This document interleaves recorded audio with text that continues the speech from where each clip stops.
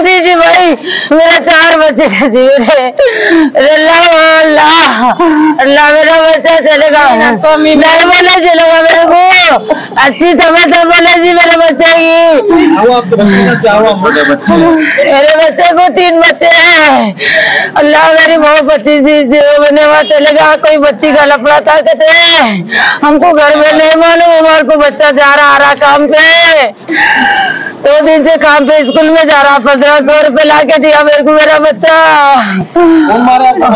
है? उसके भाया साथ साथ भाया है कहते उसके भाया मार के मार के थैले में डाल के टाटपटी उड़ा दिए कहते पा कर कदे। मैं गोवा बोलूँ मेरा बच्चा चलेगा क्या बोलू भाई? मेरे को मीडिया में ला के मेरे को बोलो बोलो बोल रही थी। भाई क्या करूँ मेरे बच्चे का मेरे को नहीं मालूम कुछ भी मेरा बच्चा भी तीन दिन से काम पे गया। तो काम पे से बुला इसको। काम करते हैं ऑटो चलाते को मिला मेहनत करके पैसे लाके देता मेरा बच्चा मेरे को। जो मिला मेरे को लाके देता। इंसान बोले मेरा बच्चा चले गया। नहीं बोला लगा मेरे को। आ जाओ अभी बोले मेरे को। आ जाओ अभी बोले। मेरे बच्चे मेरे बच्चे को मेरा इस्लाम मिला। उनका साथ है मेरा। उनकी भी डेड बॉडी आ रहा है मेरे को। एक्शन लियो बोलो खत्म पहले आप लोगों के कॉपरेट करे नहीं करे। कल आया कि क्या है लिख लेके गए। कुछ भी ना बोले उनके साथ में से एक बच्चे की डेड बॉडी होना। मेरे को मैं तो पूरे भाव को मेरे तीनों बच्चों को लेकर मैं जल के मर जाती मेरे बच्चे के साथ। नहीं हटो। बस।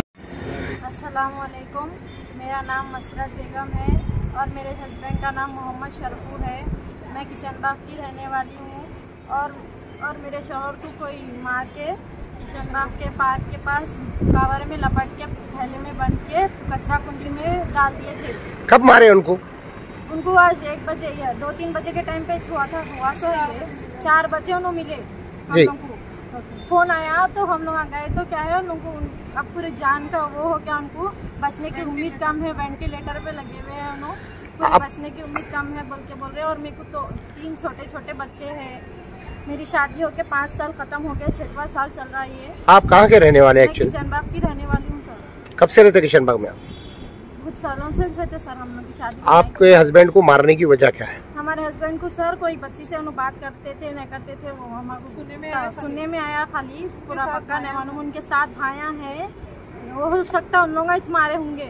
आप लोगों की तरफ़ से मेरे को इंसाफ होना मेरे छोटे छोटे नहीं बेटा ये जो जो अफेयर था बोल रहे हैं वो कहाँ की रहने वाली बच्ची थी? क्या नाम था उसका? पक्का नहीं मालूम सर नो कोई बोले चौबीस में थे नौ नंबर के पास बोले कोई किचन के आठ या बीस के पास थे बोल के बोले सर पूरा पक्का नहीं मालूम सर बस क्या काम करते थे आपके हस्बैंड हमारे हस्बैंड ऑटो चलाते थे कभी बावर्ची का भी कर लेते थे कुछ भी कर लेते थे परमानेंट तो वो कुछ भी एक नहीं था। आपको इसके बारे में कोई पता है कि कब से इनका अफेयर चल रहा था कुछ ऐसी बात? कुछ भी नहीं मालूम लेकिन बताया ये गया कि आप एक महीने से अपनी वालदा के घर में थे। पहले फ़ोन करके उनको चलो मंदिर खाने जाएँगे वो बोल के दोस्ती करके एक दो तीन दिन से बुला के करके आज एक बजे उनको मार के ऐसा ये जो मंदी खाने जाएँगे बोले ये लोग कौन थे? कौन थे कि सर उनके दोस्तों आपको कोई दोस्तों के नाम वगैरह मालूम है? है उसके बारे में फ़ोन को भी लॉक है सर लॉक भी नहीं खुल रहा उनका फ़ोन का लॉक क्या है ना मालूम? पूरी हुकूमत की तरफ़ से सबकी तरफ़ से मेरे को इंसाफ चाहिए मेरे छोटे छोटे तीन बच्चे हैं सर। पूरे कैमरे में चक्कर आके आप जो भी कर सकते हैं अभी उनकी तबीयत कैसी है आपके हस्बैंड की? नहीं बहुत सीरियस सर सर डॉक्टर है तो बचने की उम्मीद ही नहीं है पूरे सर। ठीक है। तो पुलिस आई थी आपके पास जी सर पुलिस क्या बोले आप? कंप्लेन दिए थे? हाँ कंप्लेन लेके गए। क्या बोले पुलिस वाले? सुबह आओ बोल के बोले ग्यारह बजे तक। कौन से पीएस को गए थे? यहाँ बहादुरपुरा पी एस तक आपको बहादुरपुरा पीएस हाँ लगता? वहाँ का ही लगता सर ठीक है ये इनको जो मार के डाले थे कौन से कहाँ पे डाले थे इनको? इनको किशन बाग के पार्क के पास डाले थे सर। मेजबान होटल के पास। मेजबान होटल का ठीक है तो अभी उनकी हद सीरियस है अभी। बहुत सीरियस है सर। वो होश में नहीं है वेंटिलेटर पे है ठीक है शुक्रिया। वेंटिलेटर भी बता रहा सर।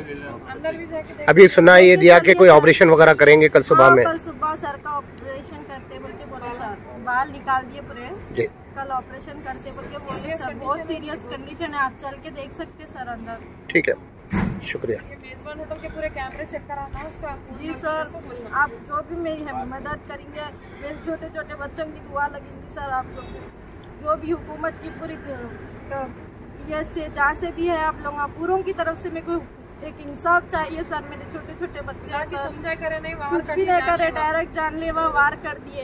कुछ बोलना तो सही कम से कम एक धमकी तो दे सकते थे। अच्छा एक बात बताइए।